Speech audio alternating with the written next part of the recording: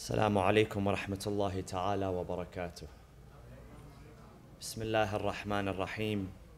الحمد لله رب العالمين والصلاة والسلام على أشرف الأنبياء والمرسلين حبيب إله العالمين أبي القاسم المصطفى محمد.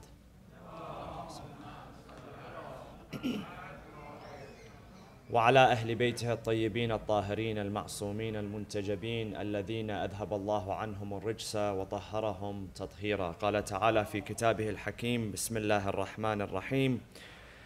وكذلك مكنا ليوسف في الأرض يتبوأ منها حيث يشاء. نصيب برحمتنا من نشاء ولا نضيع أجر المحسنين. صدق الله العلي العظيم. وصلوا على محمد وآل محمد.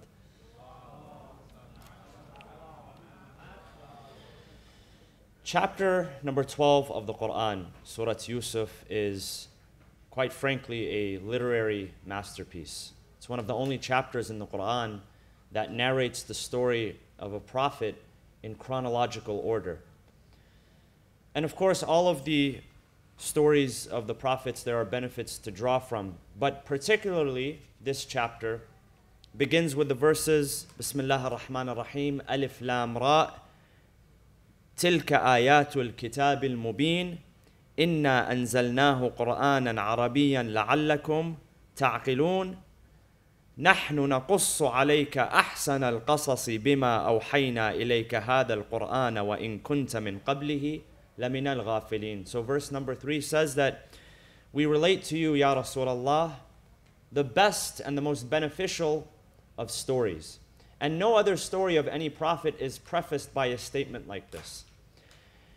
Because when you read a story or when you listen to a story, you know, generally we tend to forget the words that we hear except for the stories that we hear.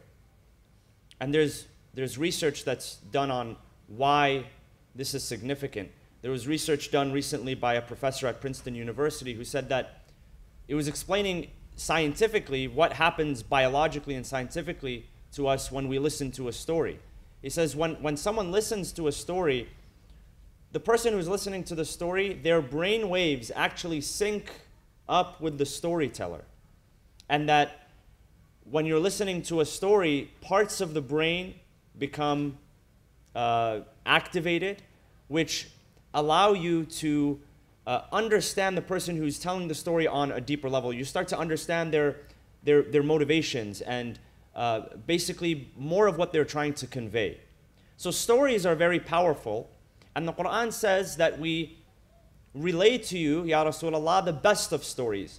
Not stories that are just entertaining. You know, when you when you consume content, when you watch a movie, some movies, they're they're just entertaining, some TV shows. They're meant they're meant to entertain. They're not meant to teach anything. They're not meant to inspire. They're not meant to motivate in any way, shape, or form. So there's a lot of content out there, and it's important for us to be selective with the content that we consume. Don't just consume content which is entertaining, consume content which also inspires you and, and, and you learn something from.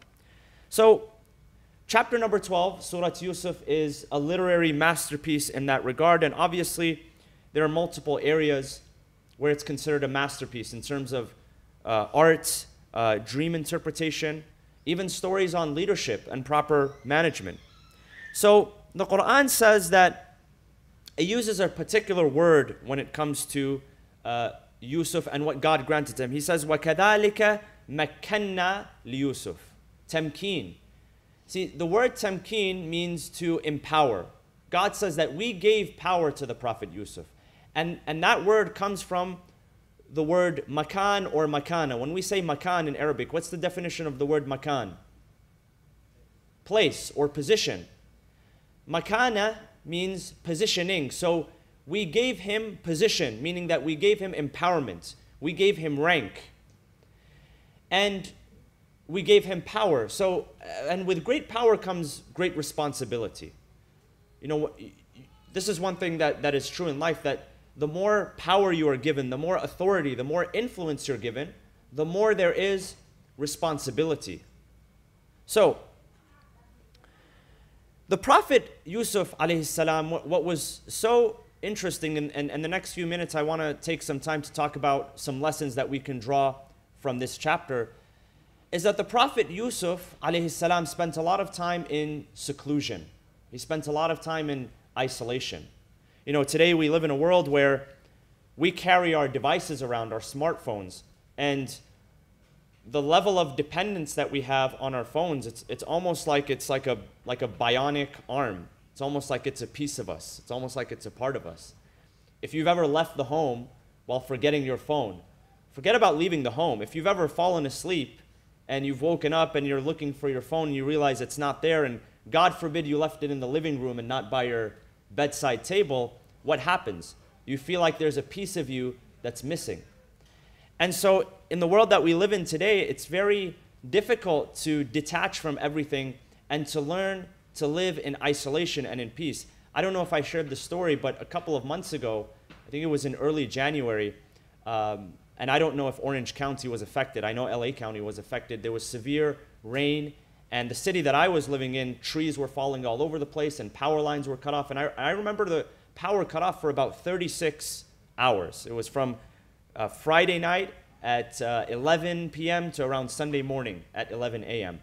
And I remember feeling, uh, feeling helpless because not only was the Wi Fi out, which is more important than obviously electricity and food and water and oxygen is Wi Fi, but uh, the, the, the cell phone towers, I guess, were affected. So there was almost no connection. And I couldn't handle it after a few hours. I got up and went to my parents' house where thankfully there was Wi Fi connection. But it goes to show that as human beings, we've reached the stage where it's very difficult for us to live in isolation and actually enjoy our own presence without being entertained, without having some sort of connection which pings us and reminds us that we're attached to the outside world. And you know, a sign of a sign of maturity and a sign of leadership is when you start to enjoy your own presence and when you can truly disconnect from the world. The world's greatest leaders, they spent time in isolation. The Prophet Muhammad, peace be upon him, he spent time in isolation. He spent time isolating himself, not completely because he would he was you know a man of the people and he would spend time uh, you know in the market and he would spend time socializing and leading the community, but his inspiration came when he was in isolation, when he was on his own in the cave, Ghar Hira, and that's where he received the first few verses of Revelation. Isolation gives you a chance to look inwards and focus on yourself. There's a narration that says, "Man arafa nafsah." When you get to know yourself, "Man arafa nafsah faqad arafa rabbah." He or she who knows himself or her, herself will know their Lord. That's how you get to know Allah subhanahu wa ta'ala. When you get to know in your eh, when you get to know yourself because God has created the greatest signs that reside within the human being. Al-Imam Musa al-Kadhim alayhi salam spent much of his life in prison, similar to the Prophet Yusuf, a number of years. And when he was in prison, his attitude was not, why is this happening to me? I should be outside. I'm the Imam of the people. I should have contact with people and I'm supposed to be guiding and leading. Oh God, why did you put me in prison? His attitude was, Oh Allah, thank you for putting me in this position because I have been waiting for a chance to isolate myself so I can develop my relationship with you. Because the outside world tends to distract us. And so he was thankful for that, posi- for, for, for that position that God had placed him in. When you read the autobiography of Malcolm X, I had a chance recently to read it. It's a great book. If you're young in here, or I mean, whatever age you are, it's a great book to read. And he talks about the transformation that happened when he was in prison. He says he grew up on the street as a gangster, as a hustler, and finally he got in trouble and he landed himself in prison. Well, in prison, there was really no more trouble to get into. So, what did he dedicate his time to? He went to the library and he read every single book in the library and he opened up the dictionary and he read the dictionary from A to Z and improved his vocabulary. That's why when he emerged from prison, he was a powerful speaker, he was a powerful orator because he spent time in isolation and he just hit the books, he hit the library. And it started to change him, started to change his mindset about what he wanted to do with his life and how he wanted to serve for the rest of his life.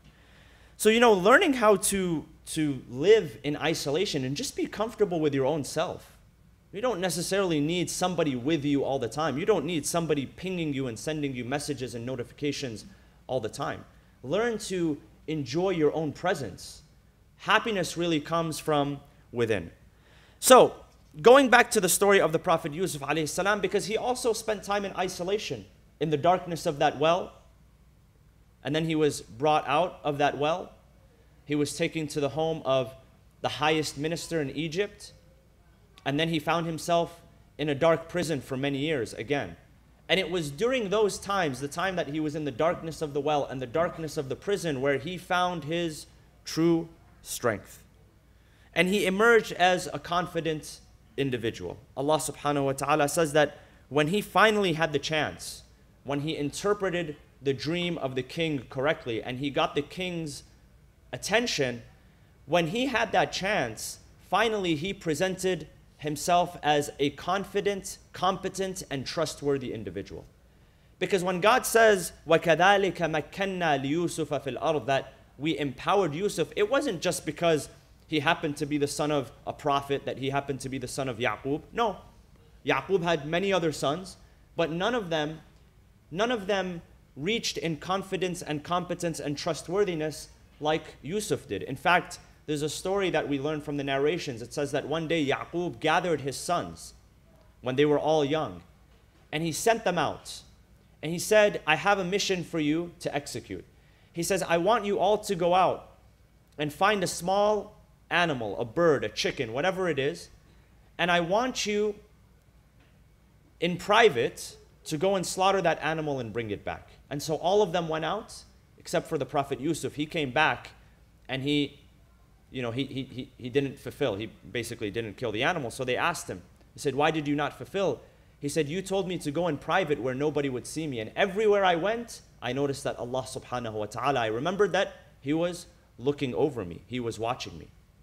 So his level of consciousness is what earned him what the Quran says, وَكَذَلِكَ مَكَّنَّا لِيُوسُفَ We empowered him not just because he was the son of a prophet, not just because he was a really, really handsome, good looking guy, because he was, but because he had consciousness. And that was the source of his own confidence.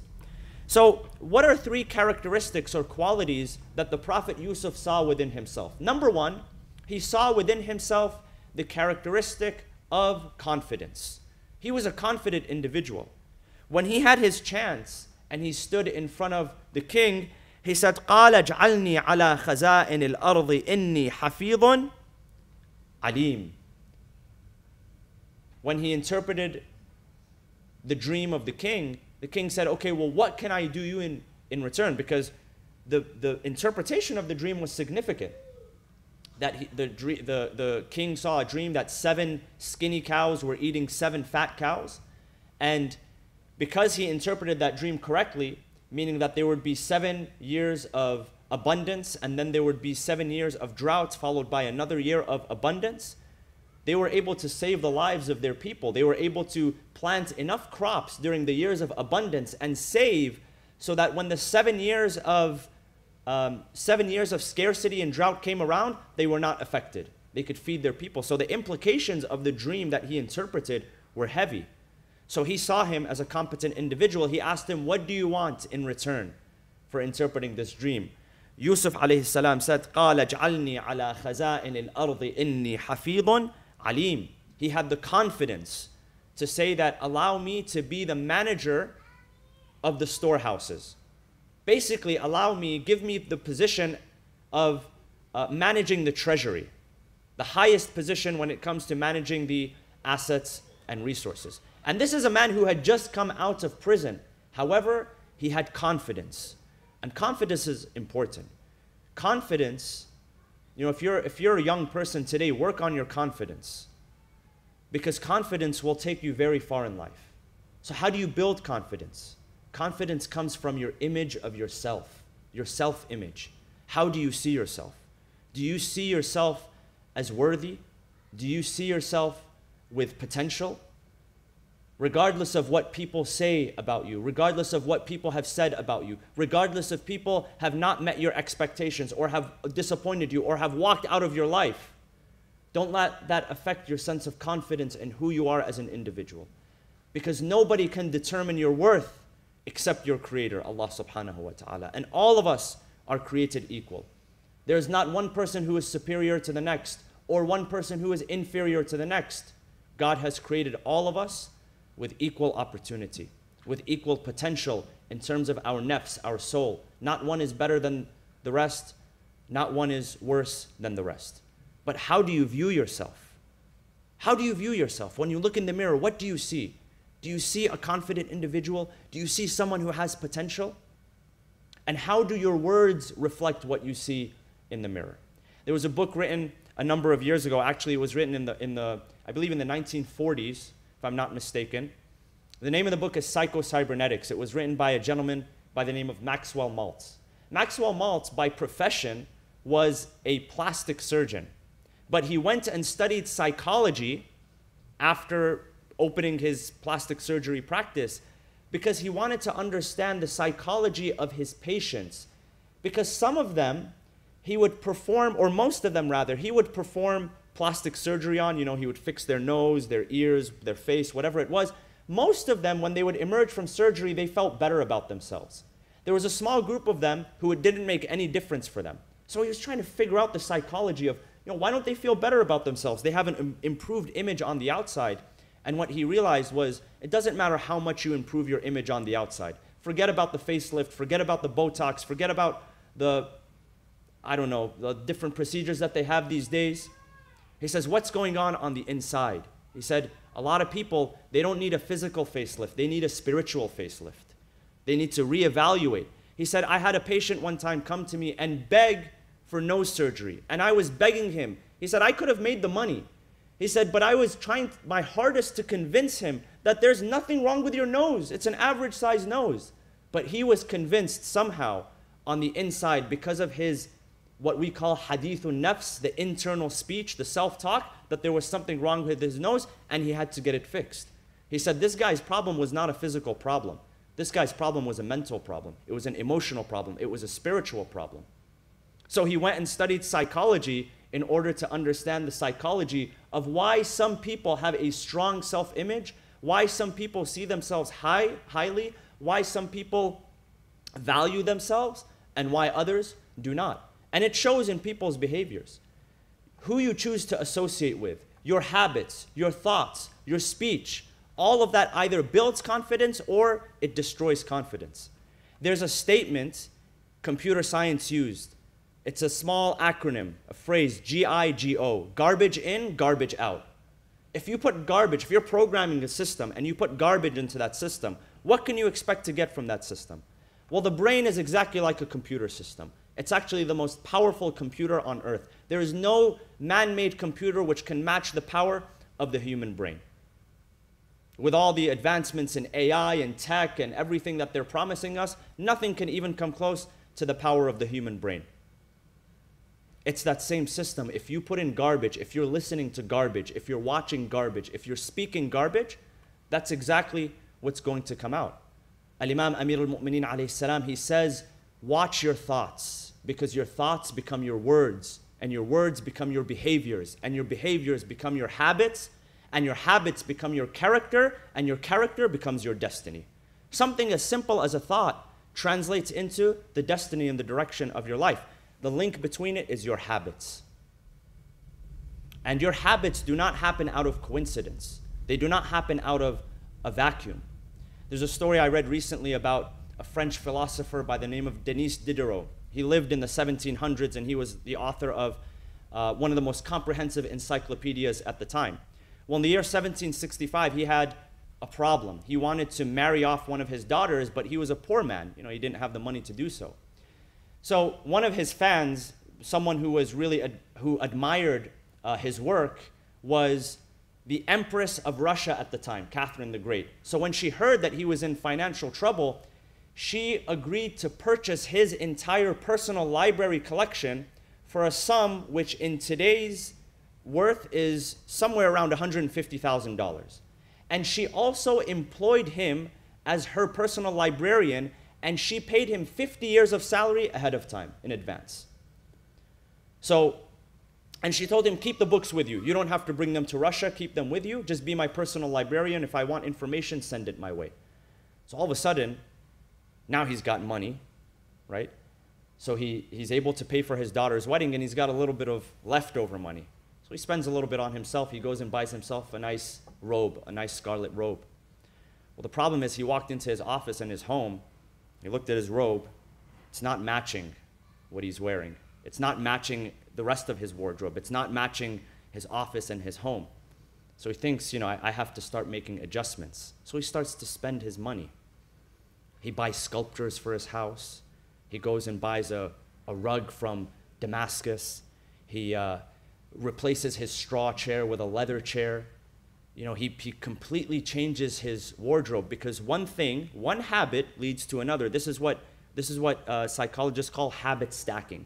That when you change one thing, you start to change another. You know, if I myself one day, instead of wearing a cheap Apple Watch, start to wear a Rolex, all of a sudden I feel, you know, this, well, this Rolex, I can't wear a Rolex on a podium that's made out of this wood. We have to change this to marble, right? And then if we change this to marble, we're going to have to, you know, upgrade what we have around here. One change leads to another change. Habits do not come out of a vacuum. They don't happen out of coincidence.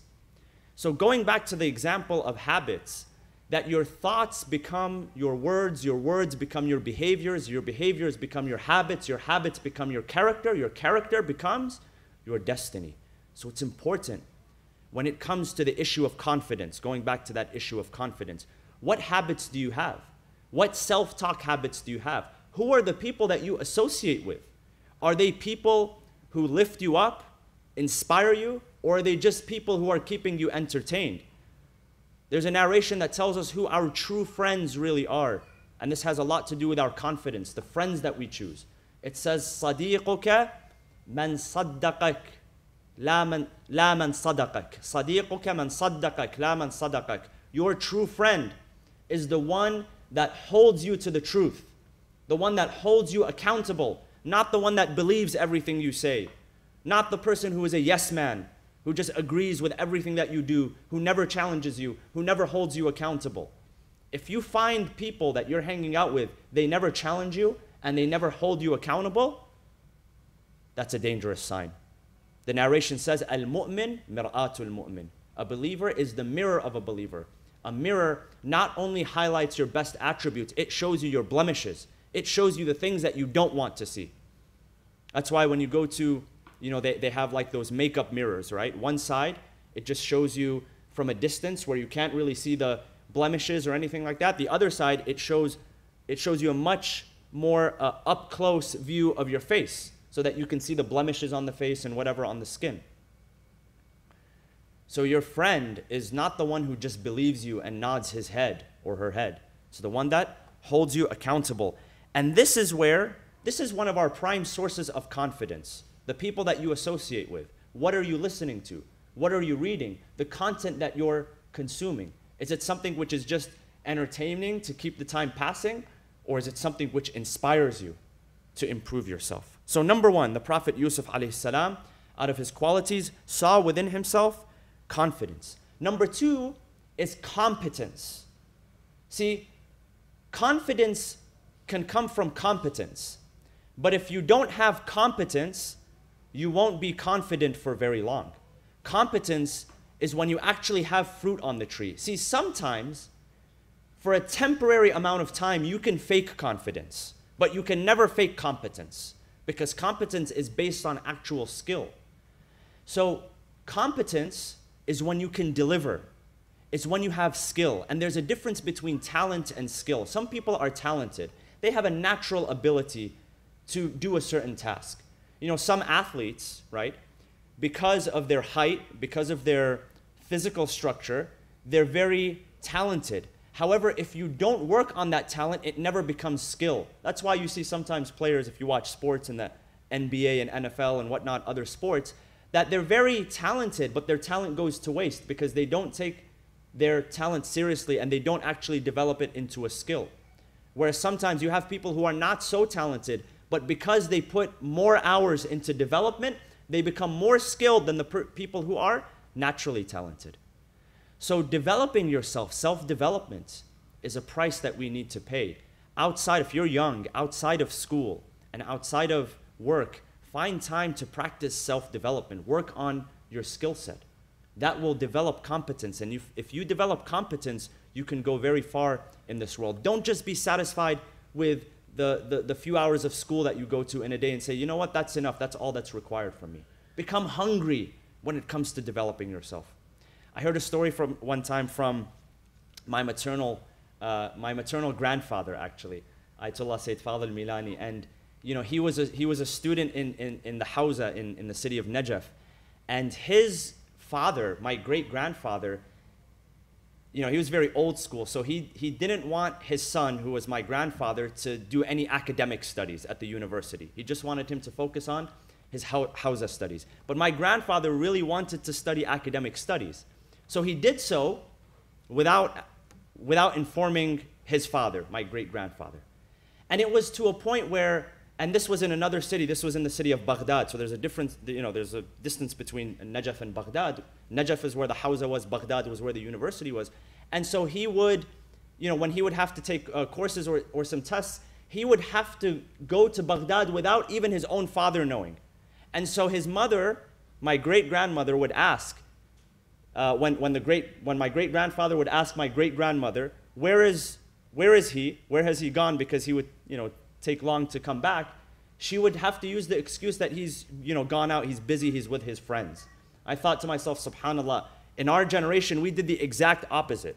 We would tell our parents that we're studying or we're at the library where we'd be hanging out with his friends. He would have to do the opposite because he was so hungry in receiving that academic degree and he had no other excuse to tell his parents that he was out hanging out with his friends. This is hunger. This is when you start to develop competence. This is how hungry you have to become in life to improve yourself. Because guess what? Nobody's going to hand you anything.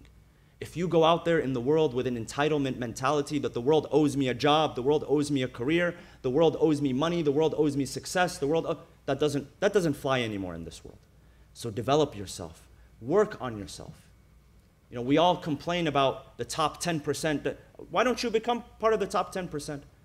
Why don't you become top the, in the top 5%, the top 1% that everybody is complaining about? Sometimes we only know how to point the finger. Why don't you work on yourself? Become elite, become a competent person. And when you do, the avenues will open up. Everything that you wish for in life, whether it has to do with career, finance, relationships, spirituality, anything, anything will be at your doorstep. The, uh, the opportunities will come to you instead of you pursuing the opportunities. But you have to work on your competence. So the Prophet Yusuf salam wasn't just confident, he was also competent, meaning that he can deliver results. So when he asked for the favor to become the, uh, you know, the, the, basically the minister and the person that was in charge of the treasury and the assets in the storehouse, he was able to actually deliver on those results. So this is number two. We said confidence, we said competence, and number three is trust. Amana. Being a person of amana. So important in this day and age. Because you can have um, you can have competence, you can have confidence, but if you're not a trustworthy individual, that's very dangerous. If you've ever worked with someone who's competent, who's confident, but is not trustworthy, run in the other direction because they can do a lot of damage because they know exactly what they're doing, but they're not a trustworthy individual. So having amana, trustworthiness, is very important. Al Imam Zainul Abidin salam, he says the following. He says that if my father's murderer was to hand me the dagger that he used to kill my father as a trust, as an amana, I would give it back to him upon request. That's how non personal it was. So having, being a trustworthy person. The king said to the Prophet Yusuf, قَالَ إِنَّكَ الْيَوْمَ لَدَيْنَا مَكِينٌ أَمِينٌ That now that you have proven yourself, you are now a trustworthy person. Now we can trust you with the assets of this nation. So, being a trustworthy individual, and, and trust really takes time. Trust, building trust really takes time. There's a narration that says that when you treat people, treat them, give them the benefit of the doubt. احمل أخاك المؤمن على سبعين محمل من الخير. When you come across an individual, give them the benefit of the doubt 50 times before you remove it from them. Meaning that you should view people as innocent until proven guilty, not guilty until proven innocent. Learn to extend trust. It's important that if we want people to trust us, we must also become trustworthy individuals. And trust is not something that you can fake. Trust is not something that you can purchase. Trust is not something that you can just pray for and acquire. It takes work. And what, what, is, what is the currency of trust? It's character. It's who you are when people are not looking. It's who you are behind all of the veils. It's very, it's very difficult, but it's also attainable. I want to just take a couple of minutes, and um, of course, tomorrow is, is the 14th of Ramadan, the day after is the 15th, and the 15th is the day in which we celebrate the birth of Al Imam Al Hassan Al Mujtaba, salawatullah wa salamu alayhi. So, tomorrow, inshallah, we will be, be celebrating his birth and his life. But just a couple of words on the character and the trustworthiness of Al Imam Al Hassan Al Mujtaba, a man who literally the, the, his entire world turned against him but that did not change his character. It didn't change who he was on the inside. And that's a true sign of success. That no matter what happens to you in life, it doesn't change your character. You don't become sour and bitter. You don't absorb and start to hurt people just because you've been hurt in life. And he was known for his generosity, his immense generosity. Narrations would tell us that people during the time of the rule of his father, Imam Amir al-Mu'minin salam in Al-Kufa, they would go to the Imam, his father, for assistance. He would give them assistance and then he would point them to the house of his son. He said, My son also has something to give you as well. Because of, he knew that his son loved to give. He was obsessed with generosity. And it's something that he learned from none other than his family members. A narration says that one day Imam al Hassan al Mujtaba comes upon his mother, Lady Fatima Zahra alayhi salam, and he sees her in her mihrab. She's praying, she's supplicating. And she is mentioning everyone in her supplication except herself. She was praying for the entire community, mentioning the names of every member of the community. Until finally he turned to her. He said, You pray for everyone except for yourself. She said, Bunay, my dear son, al jar thumma dar, the neighbor, then the home. Think of others before you think about yourself. And your neighbor is not just the person who literally lives next door to you.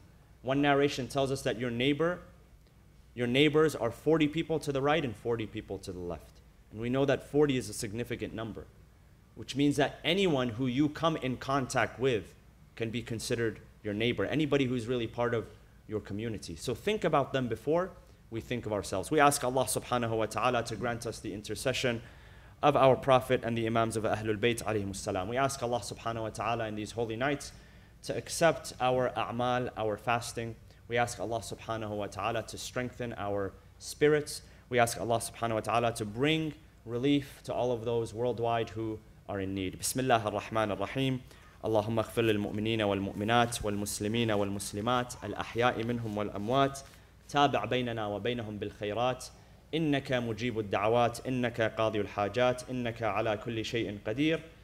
برحمتك يا أرحم الراحمين وصلى الله وسلم على سيدنا محمد وعلى أهل بيته الطيبين الطاهرين.